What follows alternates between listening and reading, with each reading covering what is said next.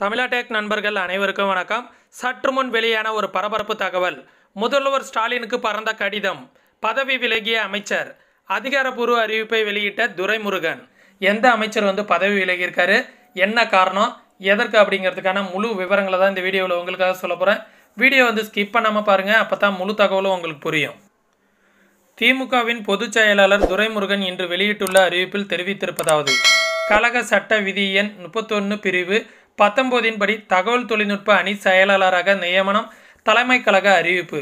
திமுக கழக தகவல் தொழில்நுட்ப அணி செயலாளராக பணியாற்றி வந்த தமிழக நிதித்துறை அமைச்சர் மாண்புமிகு பிடிஆர் பழனிவேல் ராஜன் அவர்கள் அரசு பணியில் முழு கவனம் செலுத்த வேண்டியிருப்பதால் அப்பொறுப்பில் இருந்து விலகிக் கொள்வதாக கழக தலைவர் அவர்களிடம் கடிதம் கொடுத்துள்ளார்.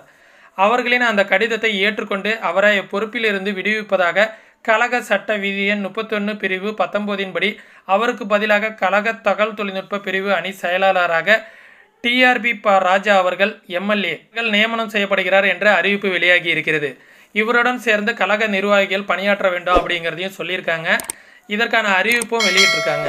மேலும் இது போன்ற அரசு சார்ந்த தகவல்களை உடனுக்குடன் தெரிந்து கொள்வதற்கு நம்ம சேனலை தொடர்ந்து இணைந்திருங்கள். நன்றி வணக்கம்.